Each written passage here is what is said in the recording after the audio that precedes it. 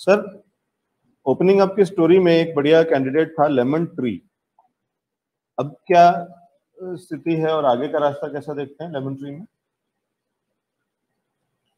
देखिए lemon tree हमें लग रहा है कि ये होटल इंडस्ट्री अभी यहाँ से अच्छा ही परफॉर्म करेगा at least for next two months हमें लग रहा है ये स्टॉक लाइनलाइट में रहेंगे। लेमन ट्री की भी बात करें तो ये up upward slanting trend line को फॉलो करके ये रैली एंटायरली आई है। इसका मतलब ये स्टॉक आपको आगे जाके 65 या 64 के यहाँ पे एक स्ट्रॉन्ग सपोर्ट के यहाँ पे ये जो गिरावट है, वहाँ पे थमेगी।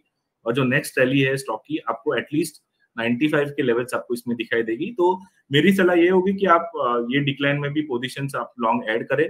अगर आपको स्टॉप लॉस मेंटेन करना है तो आप 62 का क्लोजिंग बेसिस पर स्टॉप लॉस रखें। एंड 90 एक पोजिशनल टारगेट होगा, वहाँ पे हम एक्सपेक्ट कर रहे हैं अराउंड दो से तीन महीने के बीच में आपको ये लेवल्स दिखाई देंगे।